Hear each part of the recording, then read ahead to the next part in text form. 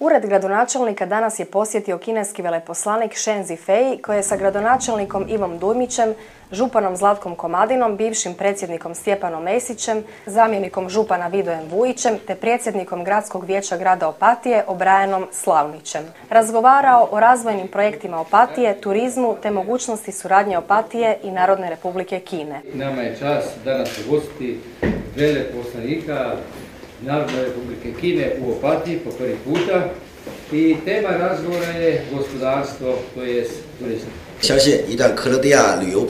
Mi smo uvjereni kad se putem uspostavio dobar imidž hrvatskog turizma, odnosno i lijepog grada Opatije, sigurno će doći što više kineski turisti u Hrvatsku. I kineska provincija Leonin je jako zadovoljna razvitkom sestrinskih prijateljskih odnosa sa Primorskom Goranskom županijom.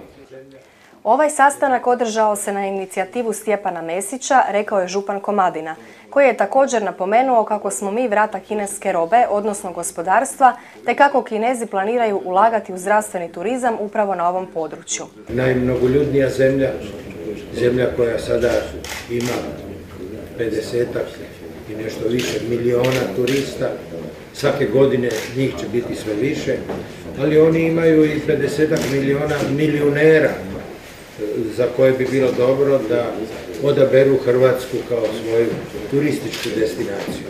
Kineski veleposlanik se nakon objave za medije uputio razgledavanje opatijske talasoterapije, jer kako je naglasio župan Komadina, tradicija opatijskog turizma nastala je upravo na zdravstvenom turizmu.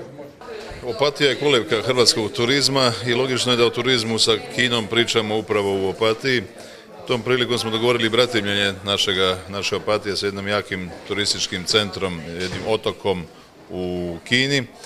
Međutim, važnije od toga je da promoviramo ulaganja, mogućnost kineskih ulaganja upravo ovdje u našu županiju. Smatramo da Kina, naravno njezino gospodarstvo, ima ogroman razvojni iskorak koji bi mogli imati efekte na razvoj gospodarstva Hrvatske. U tom smislu u tradicionalnoj kineskoj medicini gdje bi ponudili lokalitete u našoj županiji, mi smo se i brendirali kao zdravstveni turizam upravo ovdje u Opatiji, naravno i Lošinju i Crikvenici i tako dalje, a ono što je dodatno naš najjači potencijal županije upravo Riječka luka, kao što sam rekao, naš veliki brat, a Kina je naš veliki brat i naša provincija prijateljska, mora imati i ulaz na vratu u Europu, a to je upravo Rijeka.